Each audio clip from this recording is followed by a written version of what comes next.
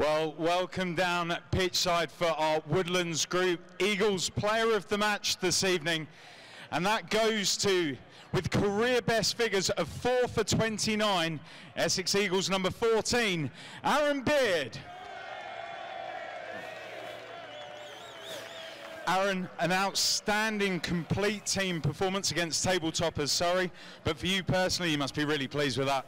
Yeah, um, firstly, the crowd have been amazing tonight. It always helps playing against a side like Surrey when they're behind us, and we thank them for that. And to put on a performance like that in front of that sort of crowd just topped off the two days that we've had.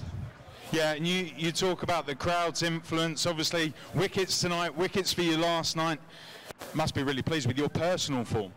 Yeah, I've had quite a long 18 months of coming back in to try and get into the side, and for the last two days to happen like that, then it's sort of all that hard work's gone to gone to good, and, and to get the outcomes has been really rewarding.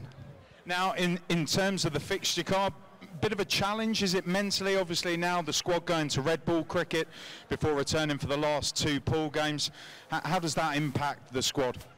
Um, I think the momentum still goes into red ball. I know it's a different type of game, but the momentum of winning games is a habit, so we want to carry on winning games and win this red ball game against Hampshire on Sunday and then go into the, the two 2020s with the momentum of three wins hopefully in, in this week.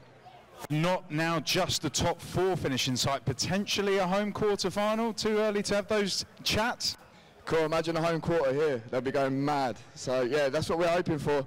We're going to keep trying to win games of cricket for the crowd and, and for us up there to, to get up that table and get as close to Surrey as we can.